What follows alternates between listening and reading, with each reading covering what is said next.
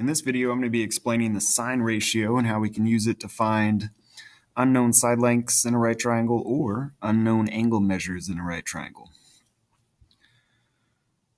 Here's an acronym that may help you remember your three trig formulas. SOHCAHTOA, if you say it fast, it sounds like you're dipping your toe into a puddle, SOHCAHTOA. So say that a bunch of times over, write it down a bunch of times so that you can remember it because this will be an acronym that helps you remember your three trig formulas. In this video, we're going to focus on the SO part. So the equation for the sine ratio is the sine of an angle. So that's the S part. And it equals O over H, or the opposite side length over the hypotenuse side length. So whenever we set up a trig equation, it's always relative to the angle that we are talking about. So over in this example triangle, if I'm talking about angle A, then the side length relative to that angle would be the opposite side over here, the side across. And then the side length that touches the angle or is next to it is the adjacent side. And then the hypotenuse is always across from the right angle.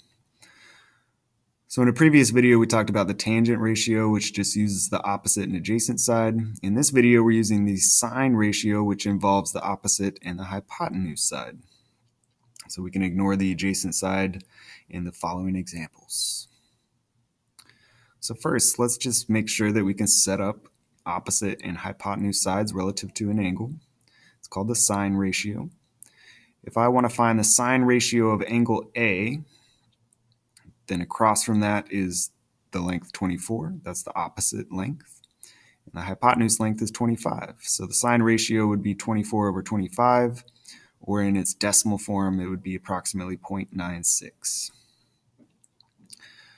Those side lengths change if we're talking about a different angle. So if we're talking about lengths that are relative to angle C, we want to find the sine ratio for angle C, the opposite side length would now be 7 but the hypotenuse isn't going to change. It's going to stay at 25.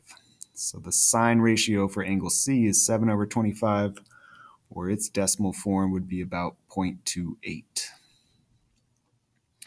So on your calculator, if we knew the angle measurement for angle A, and we asked our calculator what the sine of that angle was, it would give us this decimal. Or likewise, if we knew the angle measurement for angle C and we asked our calculator what the sine of that angle measurement was, it would give us this decimal form, or the decimal form of the ratio. So that's the sine ratio, opposite over hypotenuse. Let's see how we can use it to find an unknown side length. So using this example, let's solve for side B. Right now, if I want to use the sine ratio, and I'm using the angle 22 degrees here, across from that is side length B, and across from the right angle is our hypotenuse of 30. So solving for side length B right now would be the best case scenario to use the sine ratio because it involves the opposite and the hypotenuse sides. We're going to ignore this adjacent side for just a minute. So if I use sine of 22 degrees and set it equal to the opposite side length over the hypotenuse, it would be b over 30. I don't know, that's a little typo right there. Over here it says b over 30. We can set it up as a proportion and cross multiply to solve. You can cross multiply first and have the sine of 22 degrees times 30 equals b, or you can convert the sine of 22 degrees to its decimal form and then you would have 0.375 times 30 equals b. Either way you want to do it is fine. Once we solve that, or multiply those two numbers together, our side length b is about 11.258, and we could round it to the 10th spot, round up to about 11.3. And we can check our answer. We know that the sine of 22 degrees is equal to the opposite over the hypotenuse side. So if we substitute what we found to be b into this ratio, it should give us the same decimal as 0.375 or the sine of 22 degrees. So we check it. If you use a decimal form involving three decimal places rather than the rounded form, it'll be a little bit more accurate. So let's plug in 11.258 divided by 30, and our calculator does in fact tell us that it's the decimal equivalent of the sine of 22 degrees. degrees.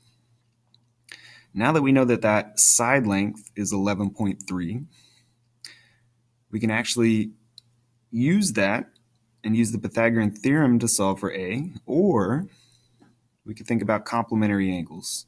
Because in this triangle, it's a right triangle, it's got 90 degrees right here, the other two angles must be complements. So 22 plus what should equal 90? So 90 minus 22 gives you this angle measurement, and we could call that angle A.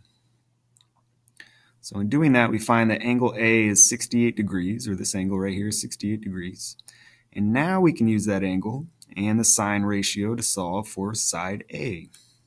So now that we have this angle measurement, the opposite side is A, the hypotenuse is still 30, so we can say the sine of 68 degrees is equal to A over 30.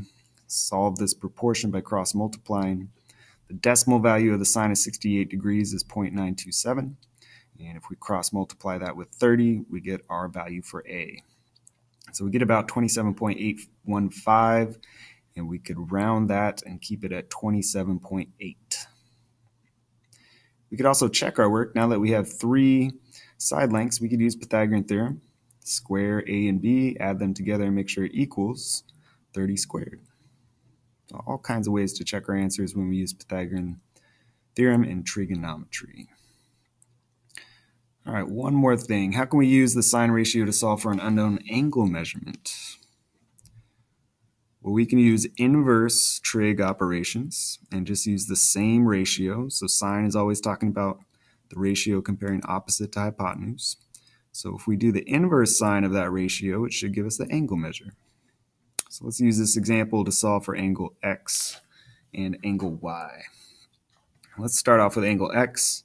The opposite side or across from that angle would be the length 5. The hypotenuse is across from the right angle. Its length is 13. So if I do the inverse sine of 5 over 13, I get the angle measurement for angle x.